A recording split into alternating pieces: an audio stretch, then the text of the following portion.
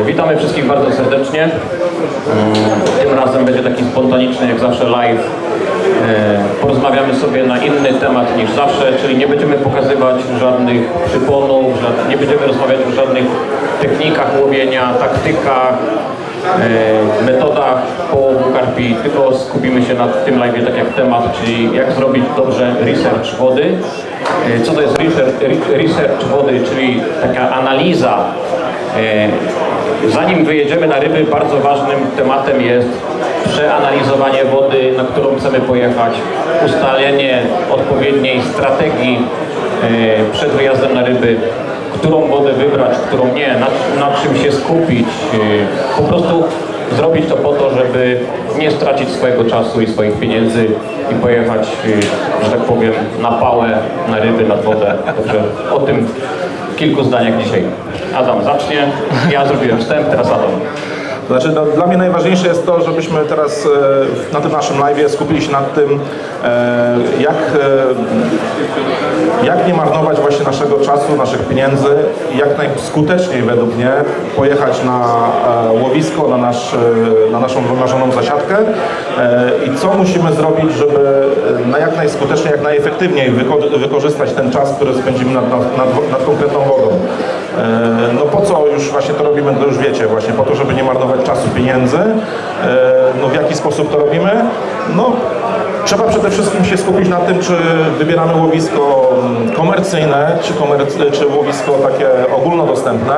E, To są tak jakby dwie różne sprawy z, przy wyborze tego łowiska, no bo jeżeli wybierzemy takie łowisko komercyjne, to o takim łowisku najczęściej mamy dużo więcej informacji niż o łowisku takim ogólnodostępnym, które tych informacji jest dużo mniej i dużo mniej osób też się chce tymi informacjami o tym łowisku podzielić, więc tutaj mamy taki kłopot, e, że pozostaje nam e, taka, mm, jakby to wytłumaczyć, tylko inwencja twórcza własna i ja bym się na tej wodzie właśnie tak skupił, że na, w jaki sposób robimy ten, na początku przynajmniej, w jaki sposób robimy ten research e, takiego łowiska e, ogólnodostępnego, tak? Czyli najpierw sprawdzamy sobie może właśnie, żebym nie zabierał tutaj czasu, a Wojtek nie musiał mi się w zdanie wcinać, to może Wojtek No, no. Najlepiej, najlepiej, nie? No, Wojtek. jedziesz, jedziesz.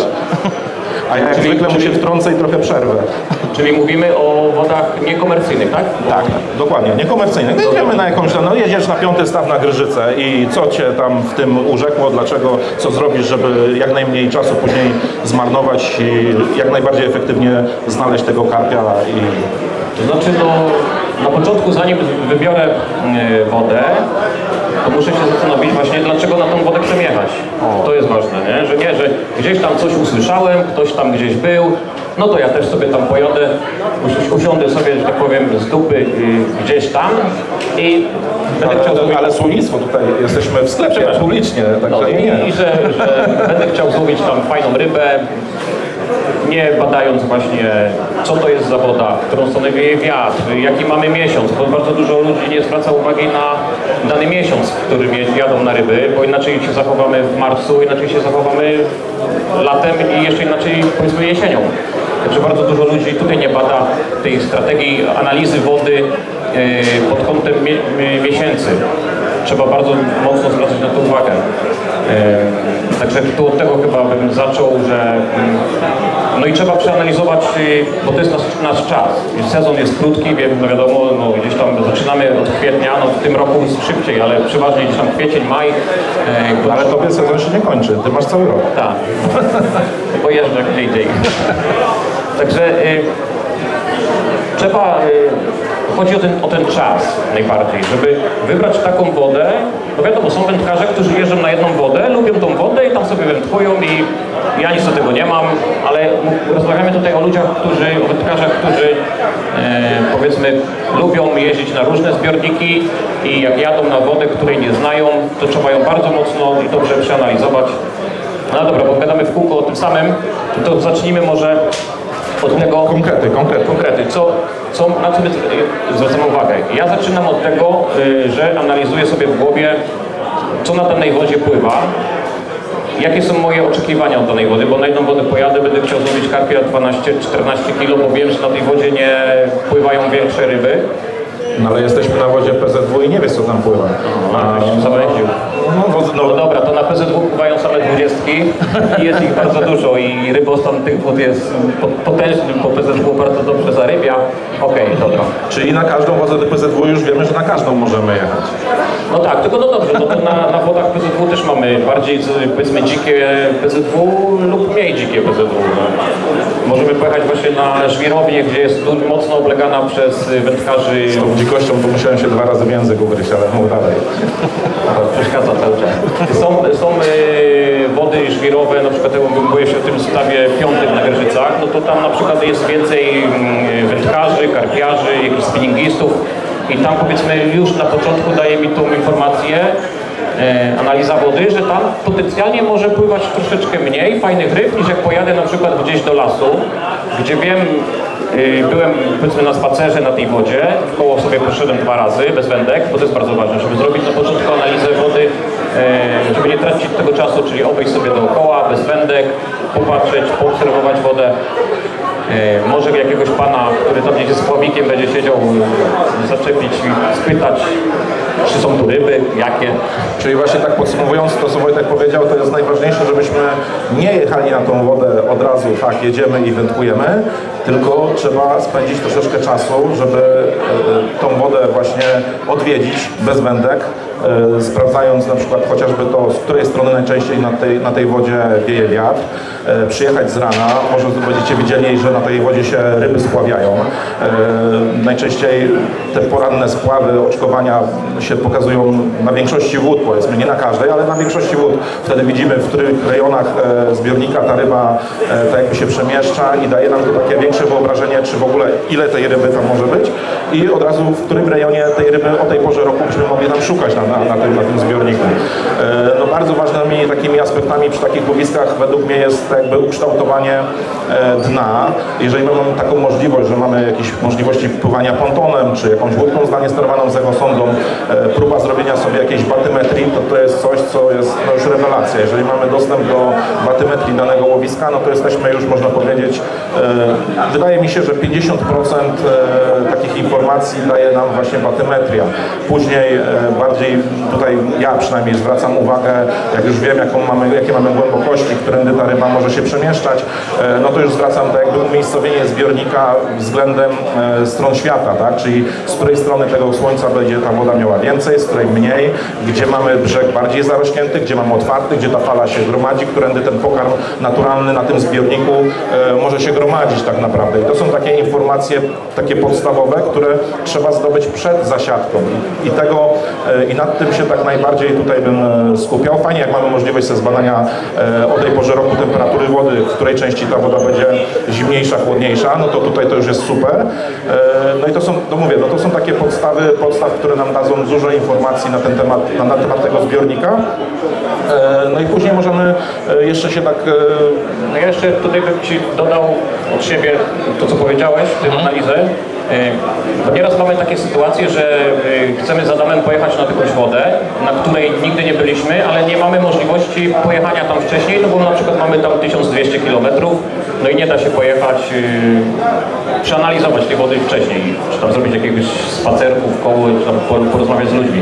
Na przykład tu bym spróbował, może odniósłbym się do żwirowni w Chorwacji, e, no na Wukowinie na przykład, tak jak byliśmy.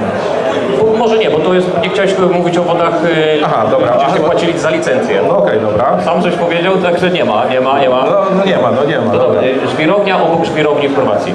Nie powiem nazwy, Mhm. przepraszam bardzo. Nawet nie wiem jak się nazywa, bo to jest żwirownia taka powiedzmy ogólnodostępna. E, czyli żwirownia obok żwirowni w Chorwacji. Poczekajcie, bo nawet ja nie wiem o czym mówię. I wiesz na pewno, żebyś sobie to wyobraził w głowie. No. Że siadamy z Adamem, bierzemy, od- odpalamy Google Maps, y, robimy sobie widok satelitarny i zaczynamy, powiem, że na tej wodzie jeszcze nie byliśmy, bo nie byliśmy tam jeszcze, dobrze, nie wędkowaliśmy, to są jakieś plany może za dwa lata, może za trzy A, lata. to już wiem o czym mówi, dobra. No i, i na jakiej, chciałbym, żebyśmy powiedzieli ludziom, na jakiej zasadzie my, no bo teraz to robimy, nie? Robiliśmy to parę miesięcy temu i pewnie jak będziemy tam jechać, to też będziemy to robić, jak będzie coraz bliżej wyjazdu. Na co tam zwróciliśmy uwagę, a tej, na tej wodzie jeszcze nigdy nie byliśmy. No dokładnie, no to, no, no, Czyli no to patrzymy, chodzi, chodzi mi o to, że patrzymy sobie na, ten, na, tą, na tą mapę satelitarną i żeśmy z Adamem analizowali. E, Z tej strony nawet widać cienie na, na, na, na mapie satelitarnej, gdzie może być głębiej, gdzie może być płycej. Niekiedy widać fajne mm, garby, rowy, które się ciągną e, gdzieś tam pod lustrem wody. Aha, no tak, tak, dobra, zaraz przeczytam. E, czyli jakieś e, e, głębokości już możemy sobie poznać po widoku satelitarnym. Teraz bardzo fajnie ułatwił nam życie Deeper, no tutaj nie, nie będę reklamował oczywiście teraz sąd, ale bardzo fajnie Deeper no, pomaga, bo możemy te widoki satelitarne, głęboką empatymetrię wody możemy już widzieć sobie w komputerze bez wychodzenia z domu. To jest bardzo fajne, to nam bardzo ułatwia. Czyli my za Adamem sobie patrzymy, nie? że tu jest zatoka, tam stoi koparka, tam kopią, to tam może być głęboko. Tu nie ma koparki, y, ludzie się kąpią na jakiejś plaży, to może być, że tutaj ten brzeg będzie bardziej taki wypłaszczony i tu już zaczynamy analizować, w którym miejscu moglibyśmy usiąść na tej wodzie, tylko analizując, mówię, ten widok taki y, w komputerze z satelity. No fajnie, jeżeli macie możliwość, no widzicie, czyli tak naprawdę ta technologia, e, którą e, wykorzystujemy, internet, e, echosondy Deepera na przykład właśnie do batymetrii, fajnie jeszcze jest skorzystać, e, no są portale, e, które mówią nam o prognozach pogody. Tam najczęściej też możemy sobie prześledzić, z których stron e, najczęściej wieje na takim rejonie wiatr. E, to jest kolejna informacja, która nam, która do nas tak jakby przemawia e, odnośnie tego, z której strony moglibyśmy na tym zbiorniku usiąść. E, Fajnie też jeszcze, jeżeli mamy możliwość sobie zobaczenia jaka, jakieś średnie e, ciśnienie na przykład wody, bo na przykład niejedno, niejednokrotnie, niejednokrotnie zauważyliśmy, że jest że minus 15 na w różnych częściach w różnych częściach świata, tak powiedzmy sobie, na różnych wysokościach, to ciśnienie jest zupełnie inne i karpie zupełnie inaczej reagują na przykład na wysokie bądź niskie ciśnienie. No, tak jak kiedyś żeśmy łowili tak jak na grzycach, to zakładaliśmy, że takie a takie ciśnienie wody, no to było coś e, złego, a pojechaliśmy do Chorwacji, no i takie ciśnienie było czymś zupełnie normalnym, także to też jest taki jakiś odnośnik e, e, i, i wykorzystanie tej informacji. I to, tą informację pozyskujemy praktycznie tylko i wyłącznie przy wykorzystaniu takich technologii, które, które mamy, no, które są ogólnodostępne tak naprawdę. No plus do tego, jeżeli mamy możliwość na przykład, dzisiaj daje nam na przykład Facebook, znajomi, widzimy, że na przykład e, na danym zbiorniku ktoś gdzieś złowił taką rybę, e, jesteśmy w stanie e, nawiązać kontakt z taką osobą, zawsze to też nam e, w jakiś sposób może pomóc e, uzyskać jak najwięcej tych informacji, czy tam na tym łowisku jest dużo naturalnego pokarmu, czy nie ma tego naturalnego pokarmu, jaki ten naturalny pokarm może być. Jak już przyjedziemy na tą wodę, to trzeba fajnie zwrócić uwagę, czy nie wiem, mamy czystą wodę, czy mamy raki. E, No i to są takie kolejne informacje, które nam dają e, dużo do myślenia, żeby jak najmniej czasu spędzić na tym szukaniu tych ryb, tylko od razu wejście w cudzysłowie w temat. No, no to też y, wiadomo, że to nie będzie nigdy tak, że, że to co zrobimy prze- i tak się przygotujemy przed wyjazdem na ryby, że to będzie sukces stuprocentowy i tak dalej. Także tu trzeba brać pod uwagę, że to jest, my sobie jakoś tam pomagamy, żeby nie osiąść, tak jak powiedziałem, mm, byle gdzie. No frycowe trzeba zawsze zapłacić. Musimy się z tym liczyć, że ta nasza strategia, ta nasza analiza może się okazać błędna, że gdzieś popełniliśmy błąd i po prostu no, pojedziemy, no, ryba będzie z drugiej strony albo nie będzie żerować, a właśnie tak jak mówię, ktoś inny będzie łowił, bo, bo jednak tej ryby o tej porze roku nie ma tu, tylko jest tam. Także na to też trzeba e, zwracać uwagę, że trzeba się z tym liczyć, że to nie jest w 100% ta analiza jakaś tam taka, że, no, że nam się to uda, nie? To, to wziąć to pod uwagę. No dokładnie, no tak jak Wojtek wspomniał, że trzeba to frycowe zapłacić. Bardzo fajnym e, przykładem, e, nie wiem, czy, bo teraz przejdziemy z takich, z, przejdę przynajmniej teraz z wody takiej w cudzysłowie PZW na wodę komercyjną. Czekaj, jeszcze nie, jeszcze jak już o tych, to jeszcze jeden przestrzał. O tych wodach, o tych wodach, jak już mówimy, takich ogólnodostępnych, to powiem też na takim przykładzie woda e, Lac de Salago e, we Francji. Jeździ tam mój e, znajomy Darek od kilku lat. E, Wiem, że tam jeździ, wiem, że fajne ryby tam łowi. Powtórzę nazwę, woda się nazywa Lac de Salago. Szykuje się na tą wodę do Francji już jakieś, myślę, rok czasu. Może to będzie w przyszłym roku. W tym roku chcę pojechać, jak będę na wakacjach, na przykład z Madzią, pojedziemy sobie popływać na tą wodę.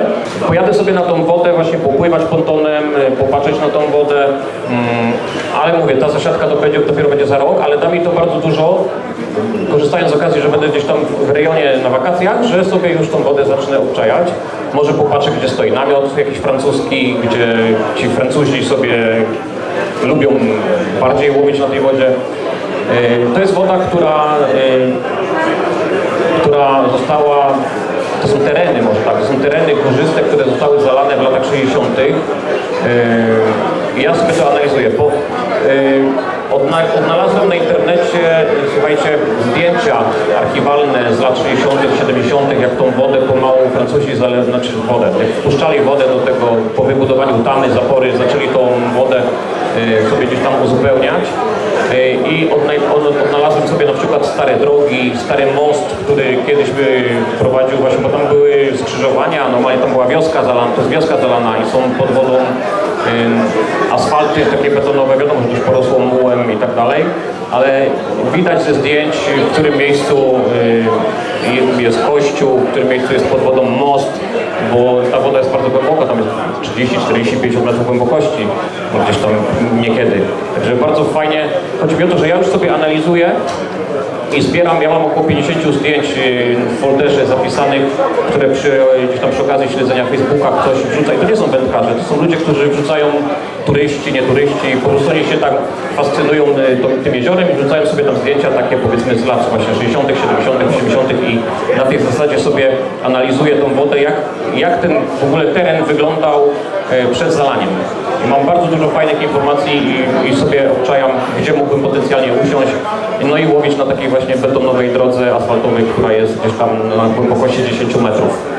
No i zobaczcie, Wojtek e, spędzi na tym dwa lata praktycznie, żeby przygotować się do pierwszej zasiadki, a i tak frycowe zapłaci, także e, tylko tyle, że trzeba sobie zdawać sprawę, że zapłaci to frycowe mniejsze, niż jakby do tego się w ogóle nie przygotował. Także e, każdy z nas, wydaje mi się, im więcej czasu poświęci na ten właśnie research, na sprawdzenie tego łowiska, tym mniejsze frycowe zapłaci po prostu. I tutaj ja bym się nad tym właśnie w, ja bym tutaj powiedział tak, że najważniejsze według mnie jest poznanie i uzyskanie jak największej informacji o danym łowisku, żeby jak najmniejsze frycowe zapłacić, jeżeli na tą wodę pierwszy raz pojedziemy. E, Dobrym takim przykładem jest e, takie bez przygotowania pojechanie, jak pierwszy raz pojechaliśmy, nie wiem czy Wojtek pamiętasz, jak pierwszy raz pojechaliśmy na Salaską, siedzieliśmy we Włoszech na zupełnie innej wodzie, no i stwierdziliśmy, że na powrocie, a zajedziemy sobie na dwa dni, e, czy na jeden, czy na dwie nocki, e, bo usł- usłyszeliśmy, że takie łowisko jest z dużą populacją dużej To było wtedy co wędką rzucałeś o podłogę? Na nie, ziemię? nie, to, to na, na, na kolejnej, to było na kolejnej, e, że dwa razy zawiesiłem i a Chyba wtedy to A było. może było, że i wtedy. E, Tak, e, na, przygotowaliśmy sobie, przygotowani byliśmy, powiedzieliśmy, że łowisko rzutowe, ja sobie ze dwa, tego, trzy zestawy przygotowałem, na trzy zestawy dwa rzuciłem, dwa za- zawiesiły mi się na drzewie, przy trzecim stwierdziłem, że pierdzielę, rzucę wędkę mu ziemię, mówię, ja i kładę się spać, nie? Znaczy, to bo to był było, to było wtedy takie ciśnienie, bo mieliśmy na tej wodzie dwa, dwie nocki, bo Dokładnie. na powrocie właśnie z innej wody właśnie włoskiej zajechaliśmy sobie tam przejazdem na dwie nocki, takie czasowo mieliśmy to zaplanowane, dwie nocki, musieliśmy wracać do Polski. Woda nieznana, nie wiedziałem, nie wiem w ogóle na, w którym, w której części usiąść, no bo to jest woda no, powiedzmy komercyjna, to nie wiedzieliśmy, bo nie znaliśmy kompletnie tej wody, No właśnie nie nie, nie przygotowaliśmy. Nie zrobiliśmy żadnego researchu właśnie, tylko dowiedzieliśmy się, że tam są duże ryby, że tych ryb jest tam dosyć sporo, od takich wędkarzy to dowiedzieliśmy, no to mówimy, jak będziemy wracać, no to spróbujemy, no co nam zależy tak naprawdę. No i, no i to właśnie pojechanie takie bez żadnego przygotowania, bez niczego, no to dało nam to, że zapłaciliśmy naprawdę bardzo duże frycowe, bo pojechaliśmy na dwie nocy, nie złowiliśmy nic, e, zachowywaliśmy się na tej wodzie powielając schematy takie, które łowiliśmy w Polsce, używaliśmy dużych przynęt, e, zestawy i sposób nęcenia i położenia tego zestawu był taki e, powielający nasze schematy. A Znaczy, te było takie odnośnie przynęt, to była taka sytuacja, że akurat, nie już nie będę czy byłem ja, czy ty, ktoś z nas zarzucał wędkę, zestaw rzutowy do wody, w ogóle zestaw rzutowy nie był w ogóle zrobiony jak rzutowy, to takie były nasze początki łowienia z rzutu. No i mieliśmy klasycznego bałwanka, tam dwudziestkę podpiętą piętnastką pop-upem i właściciel akurat przejeżdżał na rowerze.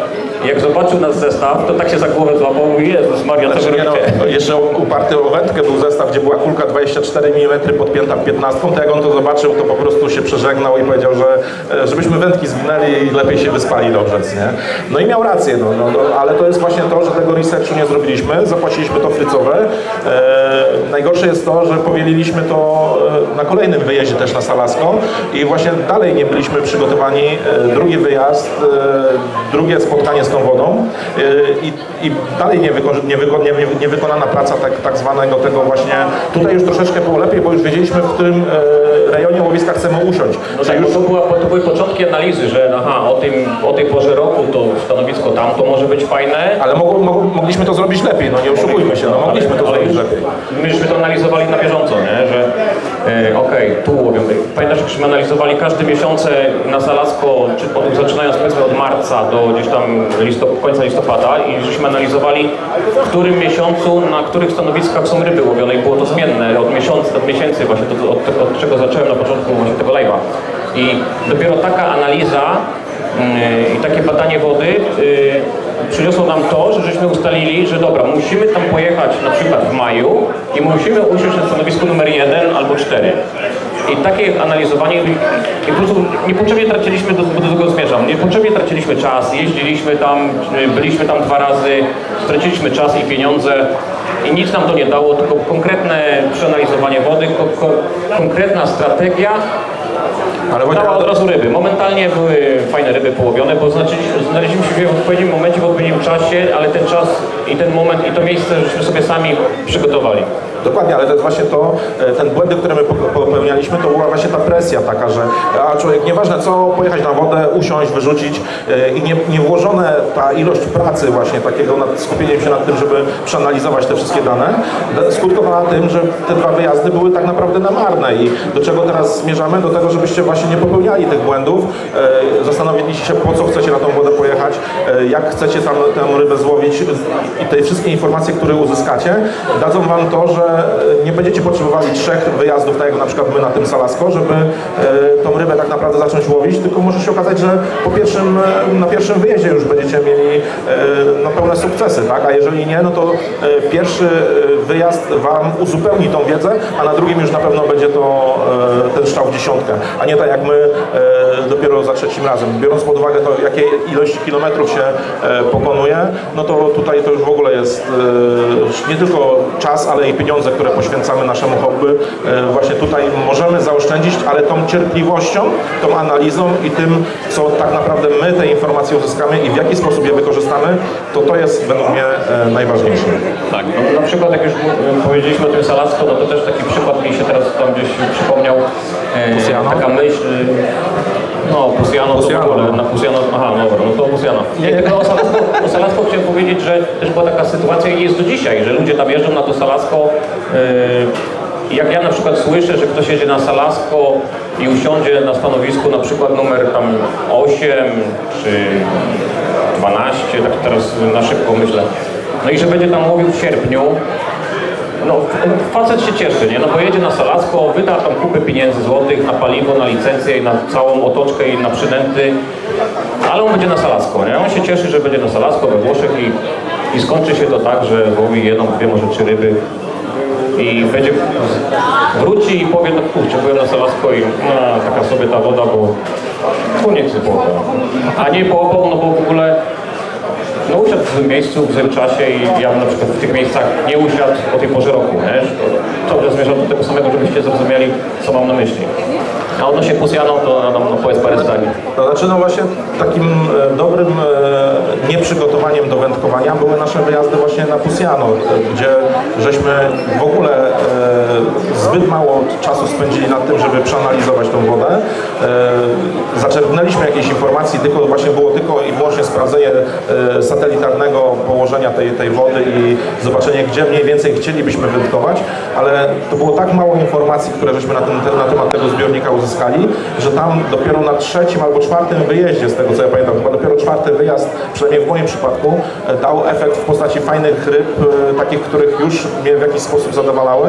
E, No i trzeba też sobie zdawać sprawę, że dużą wodę, duże akweny wodne, du, dużo trudniej jest e, zbadać, przeanalizować na odległość. To jest coś, co jest bardzo trudne i coś, co no, tak naprawdę wydaje mi się, że każdemu, przynajmniej mi, sprawia duże problemy, żeby e, być w 100% pewnym swoich decyzji podjętych w domu. Gdzie chcę usiąść, jak chcę usiąść, to tutaj tak naprawdę takie duże zbiorniki, duże akweny są dużo trudniejsze. E, Małe zbiorniki są dużo łatwiejsze do przeanalizowania i dużo łatwiej, e, dużo mniej błędów popełnimy, jeżeli tą analizę dokonamy sobie w domu przy piwku czy tam przy wspólnych rozmowach. I, I wydaje mi się, że trzeba iść w tym kierunku tak naprawdę. No ale no co, to wydaje mi się, że... Jeszcze taki może ostatni przykład powiemy i chyba będziemy przechodzić do czegoś innego, do tego pomału, powolnego nudno się zakończenia. Y, Fajnym też takim przykładem... A Milena jest z tyłu za tym, także zaraz będziemy ją zawołać tutaj, bo ten wymyśliła w live ten wspomnienkę o tym Donaldzie, także Milena szykuj się, będziesz tutaj z nami porozmawiać sobie. Na przykład y, pierwszy raz y, w życiu, jak pojechałem na Bled do Słowenii, to kompletnie nic nie wiedziałem o tej wodzie, tylko to było jakieś moje marzenie, żeby tam y, pojechać i no, zamoczyć kija panego na tej wodzie. Zwizualizowałem sobie to. I po prostu wracając z Chorwacji udało mi się zarezerwować y, jeden dzień na Bled. I tak akurat mi się udało, że gdzieś tam w tym kalendarzu online był jeden dzień y, możliwości wędkowania na Bledzie, czyli ten powiedzmy, że było akurat 9 z 10 licencji sprzedanych, czy ta jedna była wolna, wykupiłem tą licencję, pojechaliśmy tam z Madzią, czekałem tam na, na ten jeden dzień, żeby go w pełni wykorzystać, to pojechaliśmy tam dwa dni wcześniej, czyli zjechaliśmy z Chorwacji dwa dni wcześniej po to, żebyśmy Chciałem przejść tą wodę dookoła pieszo i w sumie dwa dni analizowałem. Chodziłem w koło chyba ze 4 albo 5 razy, już potem Madzia nie chciała ze mną chodzić w koło na spacer, bo tam jest chyba 6,5 km dookoła wody, żeby, żeby ją obejść. I tak łaziłem rano, łaziłem wieczorem następnego dnia znowu rano chodziłem, analizowałem, obserwowałem, gdzie ryby y, mogą się wygrzewać. Y, Udało mi się zaobserwować, gdzie te ryby mm, przebywają. No i Trzeciego dnia o czwartej rano ruszyłem z wędkami, no udało mi się właśnie y, trzy brania zrobić w jeden dzień, ale tylko i wyłącznie dlatego, że przeanalizowałem tą wodę na miejscu, miałem taką możliwość, zrobiłem parę dziesiąt kilometrów pieszo w koło wody i, i to mi pomogło, bo tak to bym pojechał zmęczony, usiadł, wziął wędki na pałę, ruszył na wodę i skończyłoby się to tym, że po prostu posiedziałbym cały dzień i nic bym nie złowił. Czyli, I- czyli podsumowując to, co Wojtek powiedział, e, nie tylko w domu analizujemy, ale warto, nawet jak przyjedziemy już na daną zasiadkę, nie tak jak większość, nawet sam tak bardzo często robiłem kiedyś, że przyjechałem na wodę, przeanalizowaną, wydawało mi się w jakiś sposób, przyjechałem od razu jak najszybciej wędki do wody i wędkujemy, tak? Jeżeli mamy taką możliwość sobie to jeszcze przyjechania i popatrzenia, sprawdzenia tej wody trochę wcześniej, że poświęcenia nawet, żeby nie, nie, nie, nie zarzucić tych wędek, tylko usiąść, popatrzeć, właśnie przeanalizować, tak jak na przykład ty akurat nie mogłeś w, te, w tym momencie na bledzie wędkować, bo nie miałeś licencji, ale jakbyś miał licencję, więc pewnie byś od razu zarzucił i, nie, i, i do czego dążę, że większość z nas zarzuciłoby na bledzie wędkę, czy tam gdziekolwiek i nie obeszłoby tego zbiornika całego, mimo to, że pokonało tyle kilometrów, bo sam wiem, że tak robiłem, że przyjechałem na łowisko zagraniczne, e, zarzuciłem wędki, bo zrobiłem ten research w domu, wydawało mi się, że wiem wszystko już o tej wodzie, a tak naprawdę nie wiedziałem nic. E, a jak wędki były w wodzie, no to już z tego stanowiska się nie ruszyłem, także warto nieraz przyjechać na łowisko jeden dzień wcześniej, założyć, że się przez ten dzień nie będzie w ogóle wędkowało, tylko obserwowało daną wodę. To te informacje nam dadzą, dadzą taką możliwość, że e, możemy zmienić tą naszą decyzję, że zaplanowaliśmy, że usiądziemy w tej części zbiornika, a jednak e, po analizie wody już będąc na, na, na zbiorniku, zmienimy, że pójdziemy w zupełnie inną część wody. Także nie tylko w domu, ale jeszcze nad łowiskiem. Tak? Tak, no bo potem to się kończy to tym właśnie, że chcemy jak najszybciej zarzucić wędki, tak jak powiedziałeś. Nie zrobimy sobie tego jednego dnia na analizę nad wodą i kończy się to tak, że usiądziemy gdzieś, bo nam się wydaje na początku, że jest fajnie, szybko się spieszymy, budujemy zestawy, żeby też wędki były jak najszybciej w wodzie, a potem się to kończy tak, że dwa dni, przez dwa dni siedzimy, nie mamy pika i na trzeci dzień się zastanawiamy, no może zmienimy miejscówkę, no bo, no bo jednak tutaj jest bez sensu siedzieć, nie? I tak się kończą takie właśnie... No tak, tylko to jest tak, tak, tak na przykład właśnie na tym wspomnianym Pusiano. Przyjeżdżaliśmy, to jest tak duży zbiornik, że dopiero za drugim razem e, wpadliśmy na taki pomysł, że jesteśmy. Wyciągamy wędki z wody i poświęcamy 6 godzin, żeśmy 6 godzin pontonem wzdłuż linii brzegowej przepłynęli, bo to jest tak duży zbiornik, żeby przeanalizować, gdzie te ryby mogą być. E, Płynęliśmy dookoła zbiornika i dopiero ten wyjazd, gdzie tą wodę żeśmy w taki sposób przeanalizowali, dało nam to, że usiedliśmy na takim miejscu, gdzie te ryby były i, i skuteczność nasza wzrosła o 100%, można powiedzieć, tak? Także no to jest tak naprawdę istotne, że a przy- przyjeżdżamy, zarzucamy wędki, no to już z reguły nikomu się nie chce e, je- jednak chodzenia w, tej, w koło tego zbiornika, szczególnie jak jest duży. Y, I, i- to, to, to mówię, no to są takie, takie ważne informacje, które uzyskamy jeszcze bez wędek w wodzie, y, na spokojnie, gdzie mamy ten umysł świeży, przyjeżdżamy, odpoczęci, jeszcze nie po drinkach. Nie? Zawsze pijemy jednego na rozkład, jak się rozkładamy. Jak się rozkładamy, to jeszcze się nie rozkładamy, także A, wiesz. no, także tak mniej więcej to wygląda, bo dużo osób właśnie e, skupia się bardzo mocno na tym, żeby jak, jaka zanęta, jaka ilość zanęty, wiadomo, że jest też ważne, ale mi się wydaje, że właśnie pierwszym takim punktem to było, powinno być to, co, o czym na tym live powiedzieliśmy, a dopiero w, drugim, w drugiej kolejności to e, przeanalizowanie strategii wędkowania, e, taktyki, nęcenia, jakie przynęty, jakie przypony, prezentacja, wiadomo, przynęty na głosie. To, to powinien być ten drugi etap e, naszej zasiadki. No i dobra, to teraz co? E, Wyczerpaliśmy? Chyba nie wyczerpaliśmy, ale nie będziemy w stanie wyczerpać tego tematu tak naprawdę, bo byśmy musieli teraz się zastanowić nad tym, jak analizujemy dany zbiornik pod daną porę roku, e, pod dany klimat, czyli czy to No, to jest... już są To taktyki. już są To- to taktyki. już jest Aha, czyli taktyka tutaj bardziej bardziej- sobie taktykę tutaj Bardziej rozmawiamy. chyba zależało mi na tym, żeby po, powiedzieć Wam o tym, że, no, że jest to ważne. Nie? Takie, ale żeby nie przenudzać, bo jesteśmy w, tutaj na Monfield Show, także żeby nie przenudzać też tutaj wszystkich gości zgromadzonych, żebyśmy tutaj nie zagadali ich na śmierć, e, to przechodzimy do drugiego e, tematu, który tutaj, e, ale nie, nie Mogę jeszcze Ci przerwę. Jeszcze Przerwę. chciałem zaznaczyć, że tutaj podczas trwania show w Monwinie e, wszystkie nasze produkty są e, z 15% rabatem. E, Okej, dobra, to teraz ja tutaj jeszcze powiem, bo tutaj jaki, jak, jak dokładnie się ta druga część naszego Znaczy w ogóle to drugą część tego live'a to wymyśliła... powin, i powinna prowadzić Milena, tak? Ale nie ma, uciekła, uciekła, znik, znikła, znikła nam tutaj Tak, z otoczenia. e, pani Milena albo Milena, nie wiem czy pani czy nie. czy już jesteśmy na tym etapie, czy jeszcze nie. No ale jaki był ten... E, Milena wymyśliła, bo ja, ja wymyśliłem temat właśnie tego researchu, o którym powiedzieliśmy, ale pani Milena, czy Milena, Milena mnie zaskoczyła i sobie dopisała e, do tematu tego live'a, żebyśmy coś porozmawiali o Donaldzie, czy coś tam Nie, o... dla, dlaczego ludzie zakochali się w Donaldzie? Tak. Właśnie Wojtek, dlaczego ludzie zakochali się w Znaczy, Donaldzie? ja bym w ogóle... y, Jest pani Milena z nami? Nie ma, nie ma, uciekła, schowała się. W ogóle to chcieliśmy bardzo serdecznie podziękować y, Milenie za to, że, bo pani Milena, może nie wiecie, ogarnia cały ten event. Dokładnie. Poznaliśmy panią Milenę mm, Wczoraj. wczoraj i pani Milena na samym początku powiedziała, że jest jej miło nas poznać i że logistycznie ogarnia cały ten event i tak fajnie, wszystko jest pięknie, także bardzo wielkie podziękowania w tym momencie dla pani Mileny, która tak pięknie wszystko tutaj prowadzi. I zapraszamy panią Milenę, która porozmawia o Donaldzie. Nie, nie, nie mówi, że Binet tutaj nie ma takiej szansy, także Wojtek, jednak ty musisz o tym Donaldzie porozmawiać, także słucham cię tutaj. Dlaczego ty uważasz, że ludzie zakochali się w tym Donaldzie? Bo ja mam swoje zdanie, pewnie odmienne od jego, od jego także no, słucham, słucham ciebie. Poczekaj, myśli, myśli, bo oczywiście do live'u w żaden sposób jak zwykle żeśmy się nie przygotowywali, ale plan był wczoraj ambitny, że przygotujemy pod punkty, wszystko, a tutaj no, wyszło jak zwykle. A, Trzeba to powiedzieć. Znaczy początki w ogóle, bo od tego trzeba było zacząć, że początki, y, dlaczego ten Donald i tak dalej, to wiadomo, że to była nasza pierwsza seria, y, którą wypuściliśmy jako marka Warmus Bites oficjalnie do sprzedaży. Ale jeszcze przed tym, zanim powstała marka Warmus Bites, zanim te kulki trafiły do sprzedaży, to my z Adamem wędkowaliśmy na Donalda, sami sobie te kulki rolowaliśmy w garażu, ale nawet jeszcze przed tym już gdzieś tam, kiedyś na jakichś targach, gdzieś tam coś tam było, że zobaczyliśmy, że jest fajny aromat, czyli takiej gumy balonowej. Donald z historyjkami, każdy z nas pewnie gdzieś tam w latach komuny żył. I to jest, to jest taka nuta, bo może nie wszyscy znają Donalda, to jest właśnie nuta takiego, mm, nie mogę zdradzić co tam jest w środku i że ta nuta tak y, powstaje, bo bardzo ciężko uzyskać y, ten Ten aromat. e, ten aromat, tak, czyli ten, ten, no, tą nutę zapachową i zęby zjadłem, żeby dopasować odpowiedni procent y, kilku flaworów, żeby taki aromat uzyskać. No, ale to miesza z tym. No i ogólnie, żeby skracając tą całą część, to była nasza pierwsza seria, która chyba, no właśnie, dlaczego ludzie się zakochali w tej serii, no bo ja nie wiem, jak ja mam Pani Mileno odpowiedzieć na to pytanie. No i Wojtek się teraz zarąbał. E, Pierwszy raz chyba w życiu na live udało się go tutaj zatkać.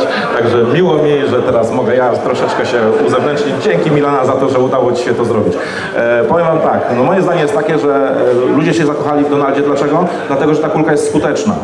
Skuteczność tej kulki i uniwersalność tej kulki według mnie jest na tyle, na tyle wysoka, że ludzie zaczęli na, nie, na, na, na większości zbiorników ona się sprawdza, bo nie na każdym. E, Nie ma czegoś takiego, do tej pory nie było czegoś takiego jak złota kulka. E, Teraz już wiemy, że mamy złotą kulkę, E, no ale... Ale tylko w głowie. Tylko w głowie. Oczywiście tylko w głowie i tylko i wyłącznie w nazwie ta złota kulka istnieje tak naprawdę. Ale e, wszyscy, wszyscy to, którzy już jakiś czas wędkują, wiedzą, że tak naprawdę 70% to jest dobór miejsca. Reszta to jest dopiero właśnie ta przynęta i, i, i te wszystkie inne pozostałe rzeczy, ale jak najbardziej przynęta e, ma bardzo duże znaczenie, czyli jej właśnie ta, ta atrakcyjność dla tej ryby. Ja uważam, że tutaj no, skuteczność tej przynęty ma wielkie znaczenie, dlaczego się ludzie w tej kulce zakochali. Że ona na 70-80% zbiorników robi efekty i to robi bardzo duże efekty.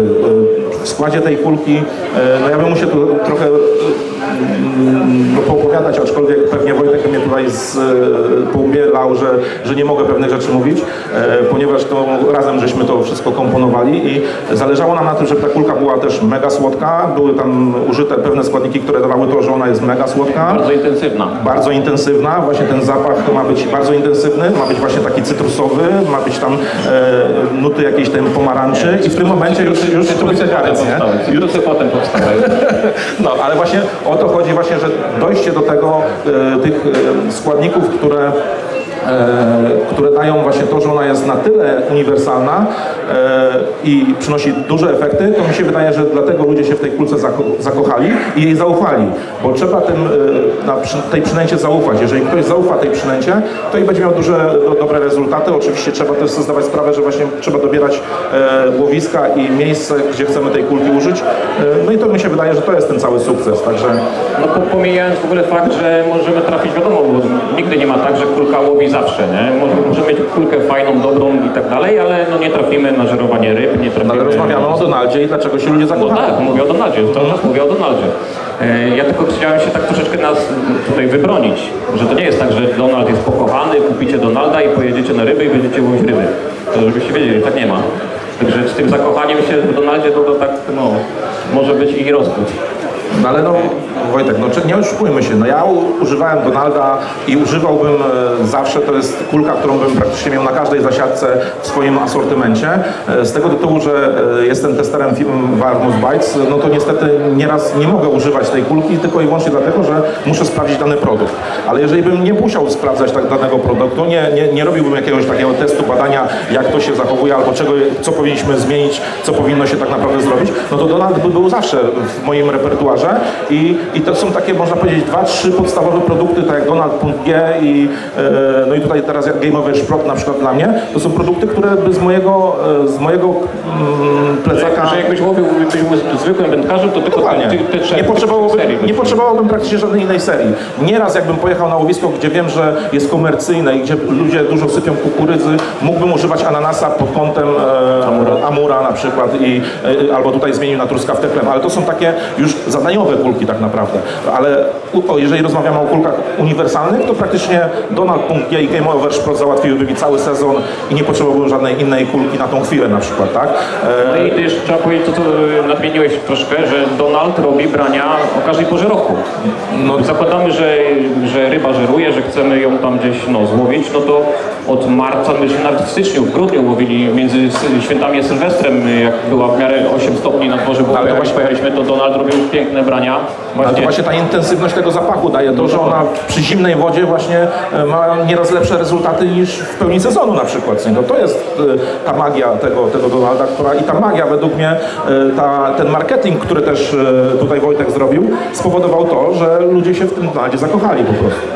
No i taka też taktyka moja niekiedy używana, że jak siedzę nad wodą i po mojej lewej pięciu wędkarzy nie ma brania, po mojej prawej pięciu wędkarzy nie ma brania, ja też nie mam brania, no to taka, mogę wam doradzić, taka strategia moja niekiedy jest takiej skrajności, że właśnie zakładam popka donaldowego, podnoszę go 10 cm nad dno i jest duża szansa i często tak było, że, no, że złowiłem jedną rybę właśnie dzięki zastosowaniu tego Donalda. No i dobra, wydaje mi się, że e, udało nam się rozwinąć te dwa tematy pełni, także chyba zakończamy naszego live'a. Dziękujemy bardzo wszystkim za spędzony z nami czas. Mam nadzieję, że nie, nie przynudzaliśmy i e, miło się to oglądało. Tak, ja ze swojej strony jeszcze raz chciałbym zaprosić do produktów y, w dniu dzisiejszym jeszcze, bo do wieczora są bardzo fajne promo, promocje tutaj w Monfinie, także kogoś tutaj nie ma, ma blisko, naprawdę opłaca się dzisiaj przyjechać, nawet te 100 km, bo zdążycie. y, Są naprawdę fajne oferty zrobione, można bardzo dużo towaru w ciekawych cenach dzisiaj kupić. Zapraszamy serdecznie. A jeżeli nie zdążycie tutaj trafić dzisiaj, to na Rybomanii właśnie Munfin będzie koło nas albo my koło Munfina, gdzie też będzie można kupić... Munfin nasz- będzie koło nas. No, no dlatego nie wiedziałem jak to powiedzieć, wiesz, powiedziałem tak i tak. E, No i tam też będziecie mogli właśnie kupić e, produkty marki Warmus Bites, a u nas na stoisku będziecie mogli tylko z nami porozmawiać i podyskutować sobie, mam nadzieję, że też miło spędzić czas. Tak, no i jeszcze powiem, że właśnie Złota Kulka będzie do kupienia jako pierwsza e, w historii e, właśnie na stoisku Munfin e, na Rybomanii. A dopiero sprzedaż taka powiedzmy oficjalna rozpocznie się po Rybomanii. Ale jak chcecie Złotą Kulkę kupić naszą tą na dziesięciolecie marki Warmus Weiss, to w pierwszej kolejności właśnie w Munfinie na Rybomanii. A dzisiaj można ją powąchać, spróbować ugryźć, i, ale trzeba wodę wziąć, żeby popić, także można już dzisiaj.